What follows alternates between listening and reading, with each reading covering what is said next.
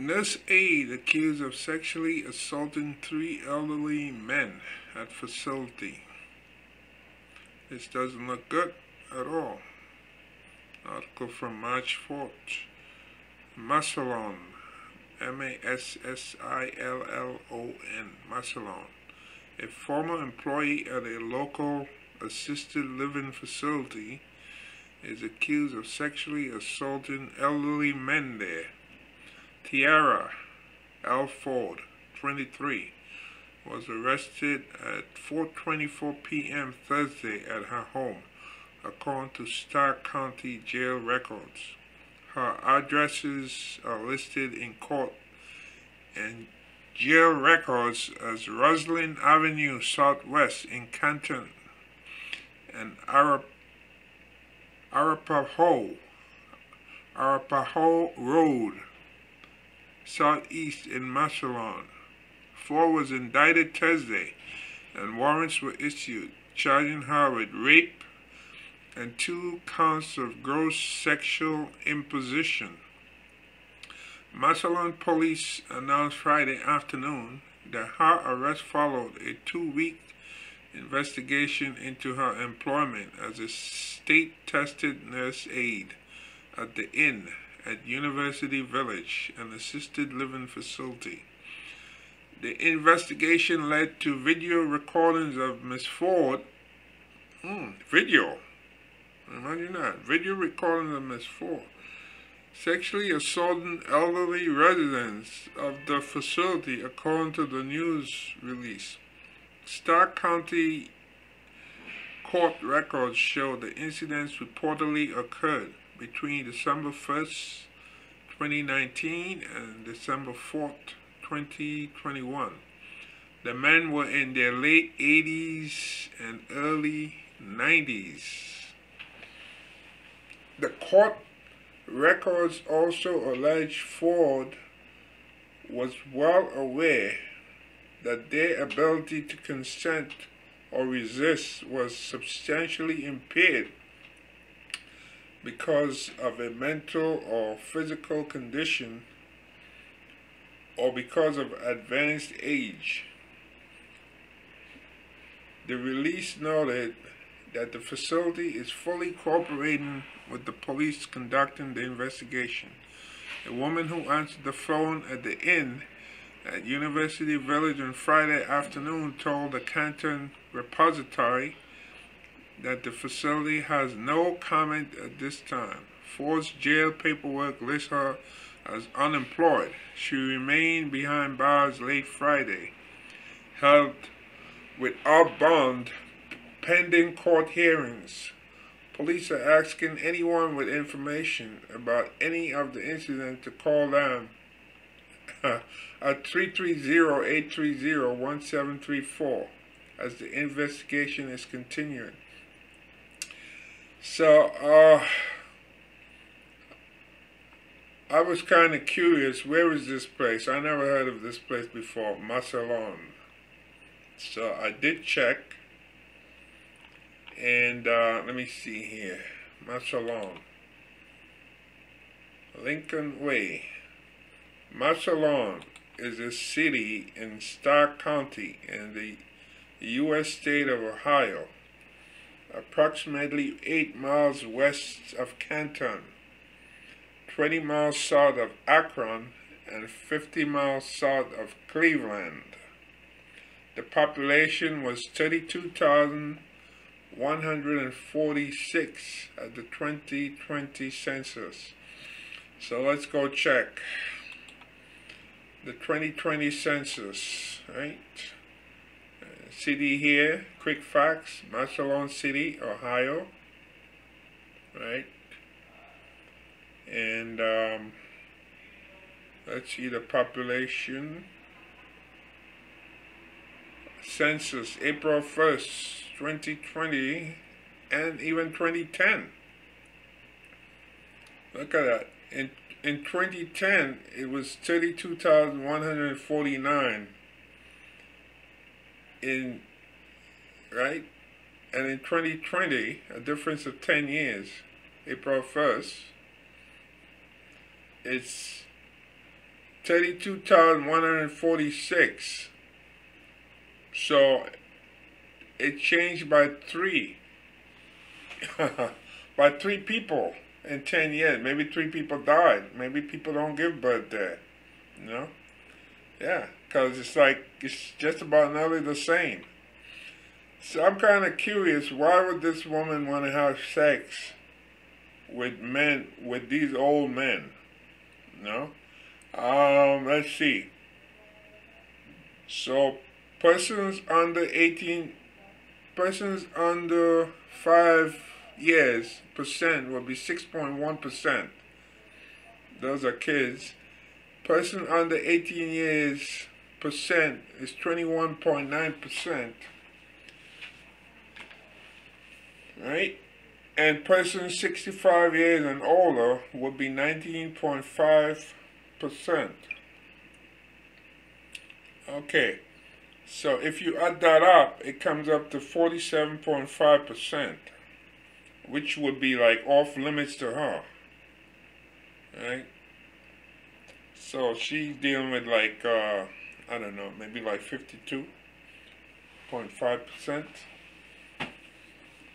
That's the number she has to play around with. But remember, this is a this is a place with a small population. Now, they show the female female persons and when they say female, that could include these little kids here, under five years old. You know, five years old, under 18 years old. It's 50.4% female. Keeping, keeping in mind that in that 50.4% female, that would include like little kids five years and under, under five years, and minors 18 years or under 18 years old. Okay, so they put the female percent. They didn't put the men. I guess you can extrapolate. you know, 50.4 and just do the subtraction from 100 and you get like like 49.6 percent it would be men.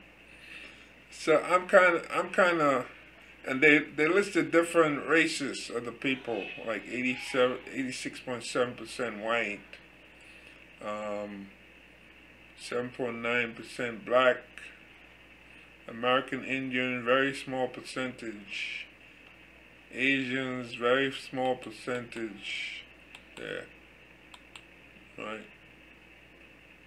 And let's see, white alone, not Hispanic or Latino percent would be 85.6 percent.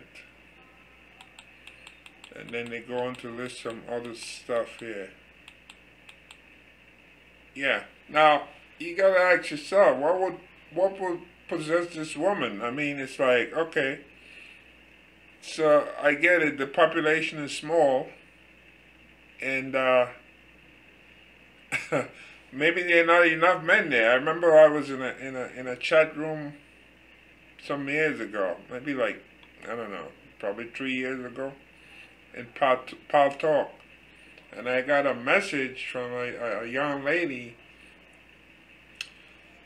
and uh, she wanted to hook up with somebody, and she was asking me if I'm available, and no, I asked her a few questions. Where was she? And she said she's in a place called Mountain View.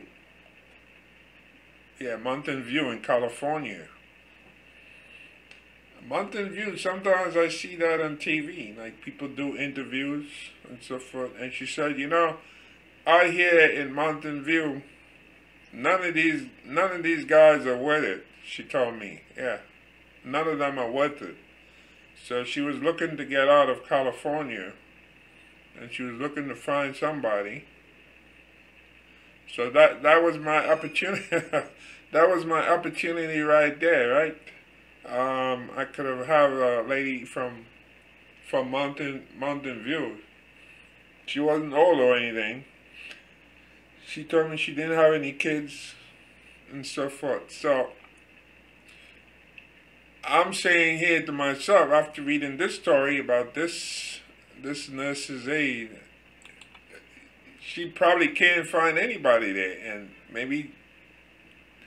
But these men are so old, you know. You say like two of the men were were over ninety. Yeah. Over ninety years old. this is really crazy. Let's see right here. The men were in their late 80s and early 90s. My goodness. You would think men those ages, you wouldn't even be able to have sex with them, right? That's the first thing you would think of, you know? After hearing about all this stuff, Viagra and all that stuff, you would assume how could a woman even be charged with rape? So, she's going to need a good lawyer who's going to argue like me, for example, and say, well, you can't really believe this woman was having sex with men that, that old, right? Because I have a hard time believing it. They claim they have a, a videotape, but yet they, they ask anyone with information to call them. Well, if you have a videotape, why do you need people to call you if you got information? You know? So it's it's I'm really kind of curious, and she's locked up. She doesn't. She's not even out on bail or anything like that. I don't think she got any bail. Yeah. Let's see. Says yeah, she remains. She remained behind bars late Friday, held without bond, pending court hearings. Oh. So she has to she has to get a, a court hearing, then maybe she'll get a chance for bail or bond. Know? Well, anyway, so I like to do some background research to see what's behind uh, the mind. Why would somebody engage in behavior like that, if that's the case? And what would, you know, but being that she's from a small town, I get the impression, just like the just like the girl who messaged me from Mount, Mountain View, California, she said, you know, I hear none of the men are worth it, she told me. And I'm looking to see if I can hook up with somebody that I could change my life. Get out of this place. Yeah. So, you know, but I didn't I didn't really get too far with her because I don't know. You know, sometimes some women could be psychotic too. could be online. I mean, she looked fine and everything from from what I see, but uh, you never know. I could have brought her over here to New York, and then she turns out to be a psycho. Yeah, like in one of those horror films you see in the in the in the movies. And that's the last thing I need. While sleeping at night, have to lock up all my knives.